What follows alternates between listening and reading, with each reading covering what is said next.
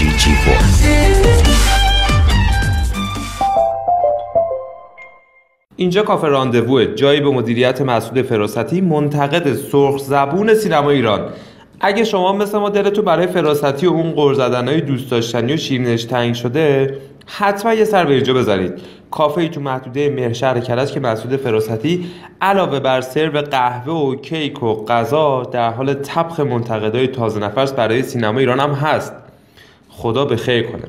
اگه تیوی پلاس رو دنبال کرده باشی این سه قسمت از گفتگوی ما با مسعود فراستی پخش شده و این چهارمین و البته آخرین قسمت این گفتگوی بدون سانسور و پرتیتره. لطفا اگر طرفدار رضا گلزار بهرام رادان شهاب حسینی و البته بعضی دیگه از بازیگرا هستین همینجا قید دیدن این قسمت رو بزنین. چون قطعا حرفای فراستی به مذاقتون خوش نمیاد و ازش دلگیر میشین تا حالا به این فکر نکردین که حوزتون رو عوض کنید مثلا برید سیاسی نقد سیاسی بکنید. نه. علاقه من به بودم، الان نیستم. سیاسی هم نیستین علاقمندم به شدت به شدت معتقدم این توافق توافق خوبی بوده. و مطلبم نوشتم کدوم برین شما؟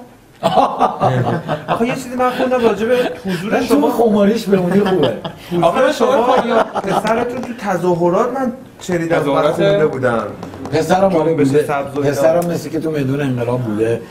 و کلاً میگم. تو تظاهرات بوده یا اصلا نبوده رو نمی‌دونم. خوبی هم پسرشون ندارن آره چیزی که من می‌بینم منم منم تو اونجا آقای طالبی گفت که من دیده اونجا شما منم رو؟ لبخند زدم آقای تلویزیون گفت آره. منم لبخند زدم گفتم آره بودم ولی توی توی پیاده رو موازهتون من آخه زیاد اونوری نیست. یعنی چیزی که من ببین من راحتت کنم. اینکه چی هستم نمیگم. تو خماری میمونی نه اصلاح طلبم نه اصولگرام آقای روحانی دیگه با میانه روی. اعتدال گرایی.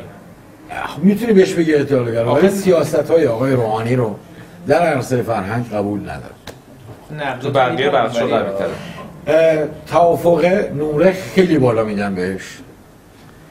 وزرای اقتصاد و نفتش به نظرم بلدن کارشون رو این که کار مهمی نتونستن تا الان بکنن نظر اقتصادی وضعیتشون رو می‌فهمم تو عرصه فرهنگ هم به نظرم اصلا نمره ندارن. بش به شدت ضعیف. حالا در این که یا نه. مثل خیلی از چهره ها و ستاره ها شما در واقع اومدین زدین تو خط business دوم دیگه. business دوم نمی‌دونم چیه. اولیش کدوم دومش کدوم؟ من 20 سال می‌خواستم کافه داشته باشم.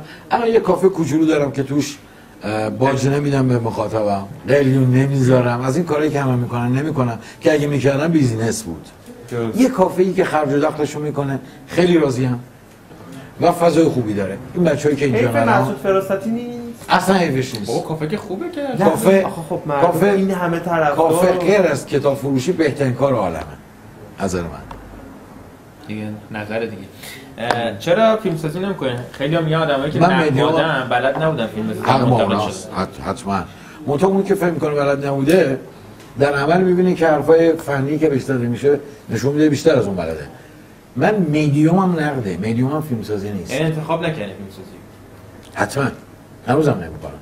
چرا یه بار برین جلو برین چی مشاورم نخواستن شما باشیم. مثلا توی فیلم بگن آقا چرا؟ شما چرا؟ خواستن. که خود باجه دیگه خب. مشاوره دو فیلمنامه باشم مشاوره یه فیلمنامه بودم خیلی هم جدی. فیلم آشغال دارم من. گفتم فیلم آشغال. یعنی پول رو گرفتیم ولی آخرش هم گفتیم که پول پول میدم دیگه. حالا اگه بگم چقدر بود خندت دیگه. الان سینمای ما ستاره داره. یه بس دیگه است این؟ آره دیگه. در اومده اون بالا. بازیگرم نداره. آقای پرستی بازیگر نیست؟ بگم اینجا. بله. بود. الان نه. کی به نتیجه رسیدین که نیست؟ خیلی وقت بازی ها هیچی نیست دیگه. فرهاد اصلانی به نظرم خوب بود. تموم که نمیشن ایشون به نظر من. خدا کن. فرهاد اصلانی خوب بود که تو جشنواره قبل خوب نبود. آقا یعنی شما توی کوچه بینام دوست نداشتین خیلی بد بود. بیخیال واخیا با اصلا آقای فراستی خیلی خوب بود نظر آخه. خوب نبود پرواز نه. یه بازیگر برای اینکه بتونه نقش درستی بازی کنه نه نقش مثبت یا اولا فیلمه باید از یه حدی بالاتر باشه تا بازیگر خودش رو درست پیدا کنه. اگه نقش خوب تعریف نشده باشه که تو کوچه بینام نقش تعریف نشده خوب بازی در نمیاد. حتی اگه فرهاد اصلانی باشه. پس لازمه در اومدن بازی اینه که ما یه فیلمنامه درست داشته باشیم حداقل که نقش توش جا افتاده باشه در اومده باشه. حالا بازیگر می‌تونه با سوادش و با بازیگریش اون نقش رو عرضه کنه وقتی چنین اتفاقی نمیفته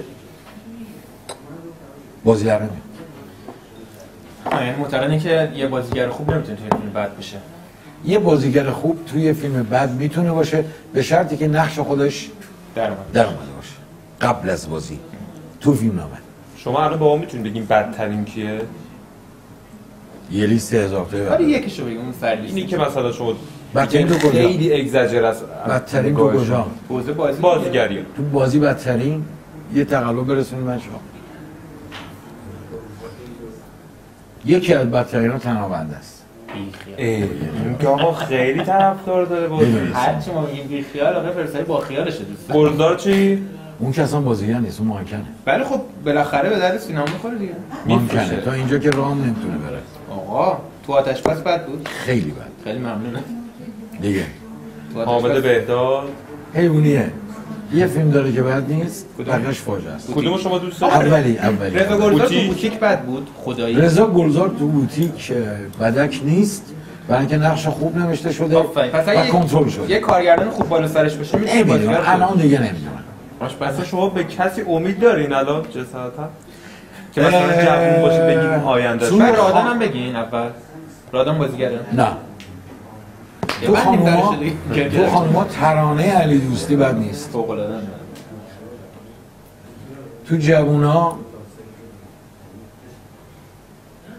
یه پسری هست توی این فیلم خیلی ضعیف عصبانی نیستم بازی کرده اسمش نوید محمدزاده اصلا بد نیست ببین یکی ایشون میگه اصلا بد نیست من یعنی نوید باشم یعنی. الان که ندادن. دیگه سیمرغ داشت یک شب آخر عوض شد. حالا فیلم درسته که. آها عصبانی نیستم.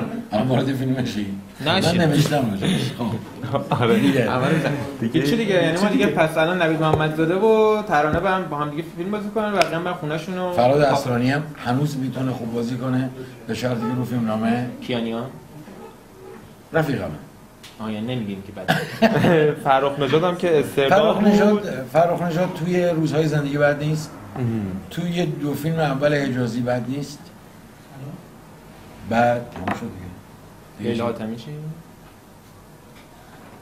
مصفا تو این فیلم آخری در دنیای تو ساعت, ساعت چنده. خوب. بود. پس شما موردی بررسی می‌کنید کلی بررسی آره. نداریم آخه. بعد این مورودا بدن کلی نمیدن. استاد میشه یه دیالوگ راجع به آقای مرجویی الان بگین حالا حاضرش؟ که سنتوریشون هم که کلا عوض شد فضاش دیگه. بازیگراش عوض شد. گناه داره پیر شده. همشهری که دیگه حداقل همشهریاتون هم. پیر شده. فیلم آخرش نوشتم خدا بیامرزه. حالا واقعا آقای مرچی کاش که دست یعنی مرچی کیمیایی کاش دست نمیزن به خاطرات مردم. خدا باش. خدا کنه همچنان سرپا باشن.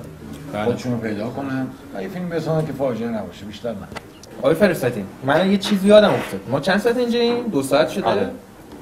دو ساعت. هی من یادم میفته شما فیلم ها رو ترکوندین ماهی گربرم شما زدین. فیلم روشن فکری اونه که دیگه کل ایران چیز کرد گفتم به به چه چه.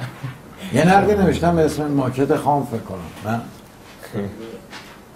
ماکت خامه پس. هر گناه داره یعنی اصلا واقعا فیلم نیست. متوهم این که فیلم سازی کرده. هیچ چی فرم بلد نیست. چجوری مردم میرن می‌بینن؟ مردم؟ بله. صد نفر آدم میرن می‌بینن نصفشون هم خوابن. بود خب. خوب خب. به اگه خوب فروخت که مثلا فیلم من معراجی و رسوایی بیشتر من میفروشه فکر کنم همون داستان فیک است خب؟ مثلا میرم می‌بینم بعد همه تعریف می‌کنن بعد تو هم میگی آقا منم برم ببینم دیگه. بعد همه هی چیز میشه. فیک بود؟ گربه نه من نظر. نمی‌کنم نگاهی خیلی خب آقا ما این, این همه اسم بازیگر گفتیم شهاب حسینی یادمون رفت. من ازش خوشم میاد. امیدوارم که یکی دو جایی که افت دارم ازش می‌بینم سری جبران کنه خیلی آغاز خب بچه خوبیه.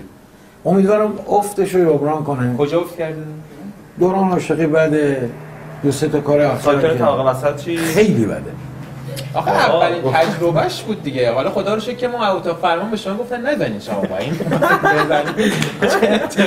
ولی من آدم رو آدم رو دوست دارم. چه اتفاقی میفته آقا یک شنبه ها اینجا به ما بگین که ما تو- طرفداراتون بدونن. سینمای سرخوشه. ما تو این کافه تا اینجا سه تا جلسه داریم. هفتگی. پنجشنبه ها نقد کتاب داریم. هفته پیش آقای فرهاد جعفری اومد و کتاب کافه پیانوش. یه 20 نفری هم بودیم گپ زدیم. خوب بود. و گفتیم کتاب خیلی بدیه. یکی هم میشیم که ببینیم بعد اصلا کل یه, یه سینمای سرخوش داره این روزای یک شنبه این موقع. که فیلم های کلاسیک سر پای سرخوش رو نشون میدیم و بعد بعدش گپ می‌زنیم با هم. جمعه هم تحلیل فیلم داریم. یعنی پلان به پلان یه فیلم مهم رو تحلیل می‌کنیم. مهم به معنی خوب یا بده؟ بعد میگیم بده.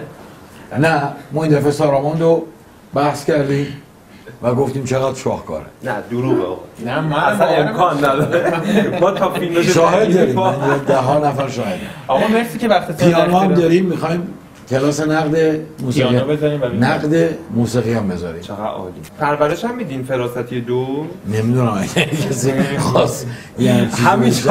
وای حاله ولی من از- رابطتون با جوونا همیشه خوب نیاد. همیشه خوبه. نه، نه،. خوب اینا پسرتون رابطتون پسرمون یه تو یه دنیای دیگه است.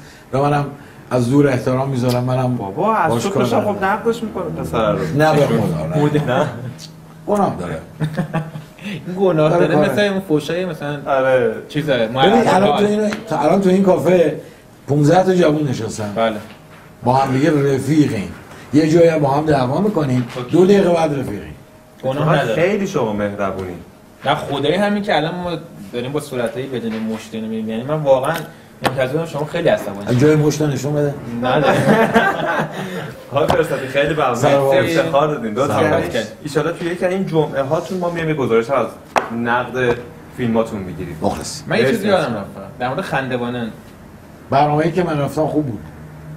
نه حالا نگفتم به این بده که کلا در حضورتون تو خندوانه بگید. همین رو گفتم دیگه من برنامه خوب بود رامود خوب بود بعد سر و صدام کرد خیلی دیده. کلی هم خندیدن آقای آره. کلم بود. خندیدم دارت بازی کردم از. شرمنده نشد اونجا سیگار بیارن نه؟ آقای فراستی علاوه بر اینکه فیلم می‌بینن و میگن بده و اینا ولی ترجمه می‌کنین نوشتین این کتابیه که این چهارمین سری از کتاب سینماگران همیشه است. می‌نویسین هیچکاک بود فورد بود برگمان بود و این چهارمیشه بله. کروساواست. این دو سه روزه در اومده. خودتون نوشتین. مبارک باشه. این هم تعلیف بله خودتون نوشتین. هم جمع آوری مطالب فرنگیه که ترجمه شده. چهارمین سریه. قیمتش هم صد تومنه میارزه قبلا هر قلم بود. آقای فراستی دیگه ته این هم فیلمساز مهمیه که باید نشناسنش ایشونه. کروساوا الان دیگه توضیح شده این کتاب دیگه. اومده؟ امروز توضیح شده. خیلی مبارکه. آره دیروز اومده امروز. هم توضیح شده چقدر ما خوشبختیم که تو روز توضیح کتاب شما مخلص. کنارتونیم. ارادت ایشالا که مخاطبا و طرفداراتون و کسایی که علاقه من به سینما این کتاب رو تهیه کنن بخونن. ایشون هم خوشبخت آره.